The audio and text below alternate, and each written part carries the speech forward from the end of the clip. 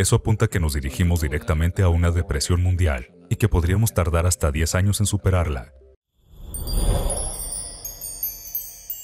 En Estados Unidos, hoy tenemos una clase media, pero está desapareciendo muy rápido. Todos están empobreciendo. Se cree que la forma de acabar con la pobreza es dando dinero a la gente, pero eso nunca ha funcionado. No hay que dar dinero a la gente, hay que educarles. Nuestros sistemas escolares no nos enseñan nada sobre el dinero, por eso la pobreza sigue aumentando. Lo bonito de la República Checa es que vosotros sabéis cómo es el comunismo. Así es. De todos modos, parece que, aunque algunos lo recuerden todavía, otros parecen haberlo olvidado. Pasasteis del comunismo al capitalismo con las últimas elecciones que tuvisteis. América nunca ha sabido lo que es el comunismo, pero está pasando del capitalismo al comunismo. ¿Eso crees? Por descontado. Y es por lo que Obama se ha apoderado de nuestros negocios. Se ha apoderado de este estado controlado. Se apoderó de General Motors. Se apoderó de los bancos. Así es el comunismo. Sí. Es un buen hombre. No lo niego. Encima es de Hawái, pero fue criado para el bienestar del gobierno. Sí. Nunca tuvo un trabajo. Nunca dirigió una empresa, pero ahora dirige el mundo. ¿Podrías volver a pilotar un helicóptero actualmente? No, no, ni siquiera querría hacerlo. Pongamos en el supuesto de que cada persona de la Tierra consiguiera tus libros, siguieran tus consejos y reglas y todo el mundo se hiciera rico. Entonces, ¿dónde quedarían los pobres? ¿Puedes imaginar un mundo lleno de gente rica? Sí, teóricamente es posible. ¿Sí? ¿Lo es? No es posible de forma realista. Creo que lo más importante que tenemos que hacer es pasar a la energía solar lo más rápido posible. Sí, porque lo que mantiene a la gente pobre es tipos como yo vendiendo petróleo todo el tiempo. Sí, tan pronto como haya más energía solar, habrá más riqueza en el planeta Tierra, habrá menos destrucción, menos daño ambiental, pero hay gente que no quiere que entre la energía solar, eólica y mareomotriz. Tan pronto como esto ocurra, habrá mayor riqueza. Ahora mismo cuesta demasiado dinero vivir. Cuesta demasiado dinero conducir un coche. El petróleo afecta a todo. Afecta a la comida, a la ropa, a la luz. Tu primera compañía fue la que inventó la cartera para hacer surf. ¿Cómo se te ocurrió esta idea? Fue mi primera gran empresa. Anteriormente tuve muchas empresas pequeñas, pero esta fue mi primera gran empresa. Cuando fui a la escuela militar en Nueva York, yo era un marinero. Estábamos en un momento en el que la nuestra era la escuela de vela número uno en la nación. Cada vez que una cartera de cuero caía al agua, se ponía vieja y arrugada. Entonces solíamos sacar nuestras carteras de nylon.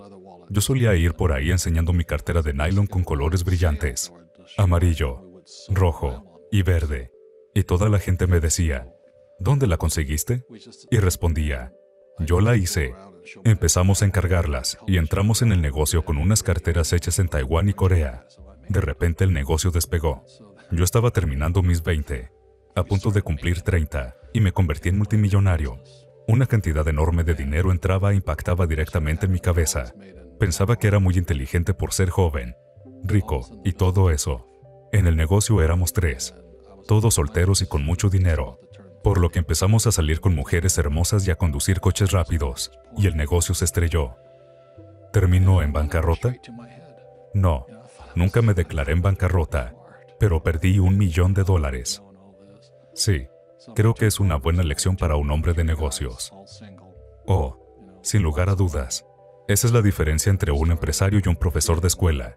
En la escuela te castigan por cometer errores, los empresarios saben que no vas a aprender nada a menos de que cometas un error. Yo he cometido muchos errores. El año pasado cometí muchos errores, pero con cada error que cometo, me vuelvo más inteligente. Es como levantarse y caerse. Levantarse y caerse. Es como aprender un idioma. Cometes muchos errores. Es como montar en bicicleta o como volar un avión. Cometes un montón de errores y, con suerte, lo superas. Sí. En 2007, escribiste un libro junto a Donald Trump. ¿Discutisteis hasta lograrlo? No. ¿No? No. ¿Tenéis las mismas opiniones sobre todo? En su mayoría. Verás, él tenía un padre rico. Yo tenía un padre rico. Sí. Ambos fuimos a la escuela militar. Sí. Ambos somos empresarios. Ambos escribimos libros. Ambos tenemos programas de televisión y ambos tenemos bienes raíces. Sí, lo mismo. ¿Y cómo fue en la práctica? ¿Teníais una reunión y os sentabais juntos delante del ordenador o sencillamente os intercambiabais archivos? Nos reuníamos en su oficina en Nueva York alrededor de una vez al mes. Solo discutimos algunas cosas. No lleva mucho tiempo. Él decía, ¿qué pasa con esto? Y yo, está bien. Un sí o un no. Está bien. Hagámoslo. Estoy de acuerdo. Hazlo. Es muy rápido. Muy rápido. Es igual que en la televisión. No es diferente. Es un hombre muy bueno. Quiero decir un buen. Buen hombre. Es lo que ves. Si piensa algo, te lo dirá directamente. No se anda con rodeos. Mantiene sus acuerdos. Es un personaje. Siempre está burlándose de mí. Esperabas que algo como esta enorme crisis, la que estamos atravesando ahora, me refiero a la crisis económica. Sí. ¿Esperabas que algo así fuera a llegar? Sí. La gente sabe que pasa todo el tiempo. Esta es una muy grande, una muy mala, pero ocurre siempre. Como cuando en 1971 el presidente Nixon sacó el dólar del patrón oro. Si miras desde 1970 hasta el 2000, Estados Unidos hizo boom porque nos dedicamos sencillamente a imprimir dinero. Era algo así como, compra lo que quieras, seguiremos imprimiendo. Y bueno, se estrelló. Ahora están tratando de imprimir más dinero. No creo que vaya a funcionar. Esto ya se vio en el 2000. El precio del oro estaba en 275 dólares la onza y ahora está en 1.200 dólares la onza. Es una ganancia de 1.000 dólares. He hecho un montón de dinero pese a esto. Sencillamente no confío en el gobierno. Y punto. No estoy diciendo que sean buenas o malas personas. Simplemente no creo que sean muy eficientes con el dinero, como todos sabéis. Sí. Son igualitos que mi padre pobre, muy inteligentes, bien educados, gente pobre. ¿Es un buen momento para iniciar una empresa? Oh, absolutamente. Sí, en estos días tan turbulentos. Esto es cíclico. Las economías suben, las economías bajan. Podríamos entrar en una depresión a nivel global. Como comenté, Francia está en graves problemas. Alemania está bien. Inglaterra está en grandes problemas. China está en problemas. Eso apunta a que nos dirigimos directamente a una depresión mundial y que podríamos tardar hasta 10 años en superarla. Sin embargo, durante estos tiempos, puedes hacer mucho dinero. Yo he hecho más dinero en los últimos tres años que nunca antes en mi vida.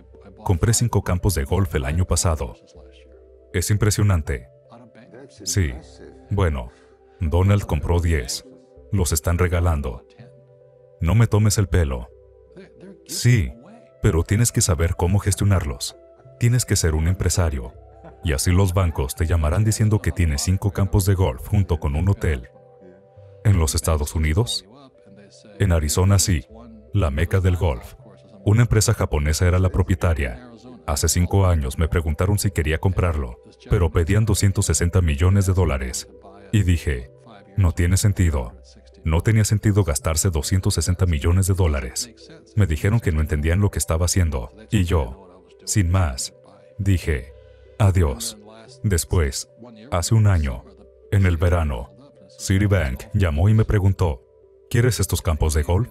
Me dieron el dinero para comprarlos porque puedo gestionarlos. Espero que hayas disfrutado del vídeo. Asegúrate de darle al botón de suscribirte para ver más vídeos increíbles como este. Esto ha sido Mentes Brillantes. Gracias por vernos.